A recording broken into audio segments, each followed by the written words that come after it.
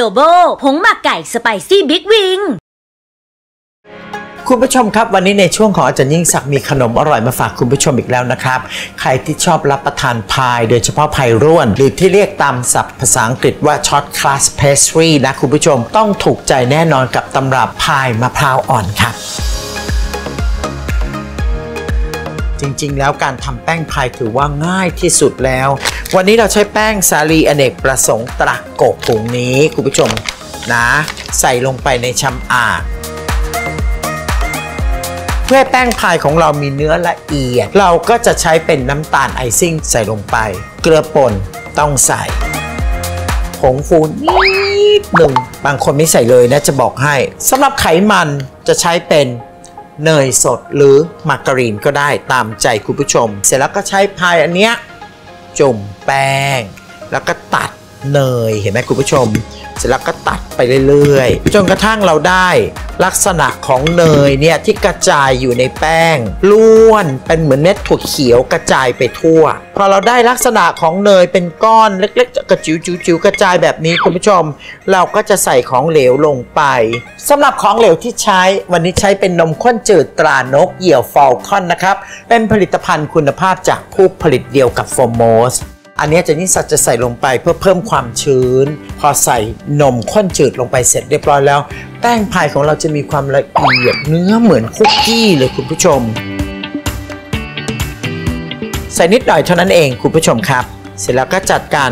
คนตะล่อมให้เข้ากันเบาๆมือ ลักษณะที่เริ่มจะรวมตัวเป็นก้อนก็จะเป็นลักษณะแบบนี้เห็นไหมจับดูตรงนี้ก็จะเริ่มแฉะๆติดกันเห็นไหมเนี่ยอย่างเงี้ยใช้ได้ เอาผ้าชื้นคลุม หรือเอาคลิ้งฟิล์มปิด เสร็จแล้วนำเข้าตู้เย็นไว้ 2-3 ชั่วโมง ก็เอาออกมาจัดการนวดซะคุณผู้ชม เหวี่ยงพรึบนี่เราก็กะดูพิมพ์ของเราแค่นี้ใช่ไหมเอาวางซะ กรีดแป้งใหญ่หน่อยเหลือแค่นี้อะ จัดการพลิกซะนี่ นะคุณผู้ชม เสร็จแล้วก็จัดการกลุแป้งลงไปในพิมพ์ ใช้มือเนี่ยค่อยๆกลุให้เข้าไปตามมุมพิมพ์วันนี้เราใช้พิมพ์ทรงเรือ สวยงามเชียว แล้วก็ใช้มีดคมๆ จัดการตัด เสร็จแล้วเราก็วางพักไว้ ทีนี้ถ้ารีบนำเข้าเตาอบทันที แป้งจะโหด เพราะฉะนั้นเราต้องใช้ซ่อมจิ้ม อย่างนี้เพื่อให้การระบายความร้อนดี แป้งพายจะไม่โก่งงอในระหว่างอบ พักไว้อีกสักชั่วโมงหนึ่งก่อนเข้าเตาอบนะคุณผู้ชม พายมะพร้าวของเราวันนี้คุณผู้ชมครับ ใส่นมข้นจืดตรานกเกี่ยวฟาลคอนด้วยนะครับ เป็นผลิตภัณฑ์คุณภาพจากผู้ผลิตเดียวกับโฟมโมสคุณผู้ชมใส่ลงไปเสร็จแล้วนะ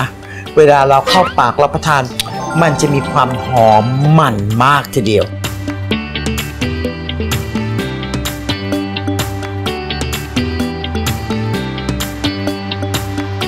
เราใช้ครีมเทียมข้นหวานตรานกเกี่ยวฟาลคอน เราก็ไม่ต้องใส่น้ำตาลแล้วนะคุณผู้ชม ใส่ลงไปเสร็จเรียบร้อยก็จะหวานแบบครีมครีม ดูชวนรับประทาน ใส่นิดหน่อยแค่นี้จะได้เราก็เปิดเตานะ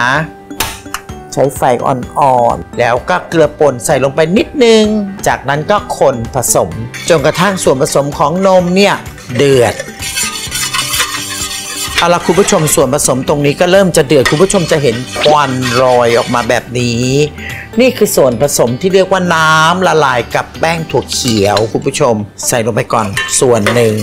แล้วก็คนเสร็จแล้วก็เนื้อมะพร้าวอ่อน ใส่ลงไปเลยเยอะหน่อยคุณผู้ชม คนให้เข้ากันน่ากินมากคุณผู้ชม อันนี้ต้องบอกคุณผู้ชมนะว่าตำรับนี้เป็นตำรับที่แบบเพื่อนฝูงฝรั่งมาพอชิมเสร็จนะร้องอุตายไวายกรีดกันหมดข้อนเมืองนะคุณผู้ชมก็ชอบมากคุณผู้ชมจะเห็นว่าเริ่มจะข้นๆขึ้นแบบนี้เห็นไหมคุณผู้ชม คนสักครู่หนึ่งนะประเดี๋ยวก็จะสุก ต้องแน่ใจว่าแป้งสุก เอาละปุดๆแล้วนี่ไงคุณผู้ชมสุกข้นเลย อย่างนี้หยอดลงในถ้วยพายที่เราอบไว้ได้ทันทีคุณผู้ชมครับิบเชอร์รี่มาลูกหนึ่งนะคุณผู้ชมเชอร์รี่มีก้านเสร็จแล้วก็จัดการแต่งซะ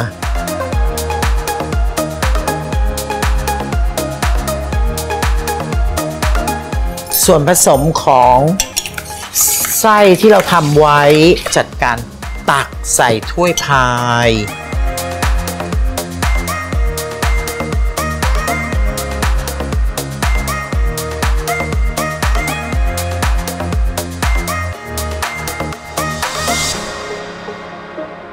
อันนี้เริ่มจะทรงตัวเรื่อยๆ แล้ว เพราะฉะนั้นจะแต่งอะไรก็ต้องวางให้มันเสร็จเสร็จๆตรงนี้แหละคุณผู้ชม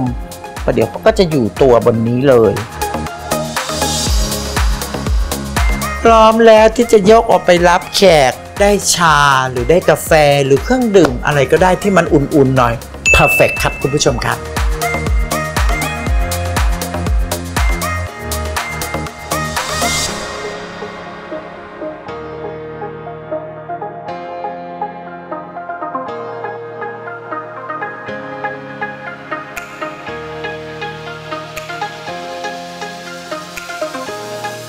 สำหรับแฟนๆของอาจารย์เมย์กับน้องนานาอดใจรอสักครู่นะครับ ช่วงหน้าเขามีขนมอร่อยมาฝากแน่นอนครับ อดเปรี้ยวกินหวานวันนี้นานาและอาจารย์เมย์มีเมนูมาเอาใจสายหวานให้ได้ฟินกันอีกเช่นเคยนะ วันนี้เราจะมาทำ praline เค้กกัน ช่วงอร่อยหลากสไตล์ สนับสนุนโดยผลิตภัณฑ์ตราเนเจอร์เทส ดื่มเติมความสดชื่น กับเมนูมะขาม mix fruit โซดา วิธีทำน้ำแข็งผลไม้ ใส่ผลไม้ที่เตรียมไว้ลงในพิมพ์สำหรับทำน้ำแข็ง ขนาดตามชอบ จากนั้นเติมโซดานำเข้าแช่แข็งเตรียมไว้วิธีทำมะขาม mix fruit โซดา เทมะขามฟรุตเบด Preparation Dry Nature Taste ลงในแก้วเสิร์ฟ จะช่วยเพิ่มกลิ่นหอมอ่อนๆของมะขาม และรสชาติหวานอมเปรี้ยวที่ลงตัว ให้กับเมนูของเราค่ะ ตามด้วยน้ำแข็งผลไม้ที่เตรียมไว้ เติมโซดาแช่เย็น แต่งหน้าด้วยใบสะระแหน่ พร้อมเสิร์ฟ แค่มีผลไม้ fruit base ตราเนเจอร์เทสไม่ว่าจะรังสรรค์เมนูอะไรก็อร่อยได้กลิ่นและรสชาติคุณภาพเยี่ยมทุกเมนู ผลไม้ fruit base ตราเนเจอร์เทส ยังมีให้เลือกหลากหลายรสชาติ สามารถสั่งซื้อออนไลน์ได้แล้ววันนี้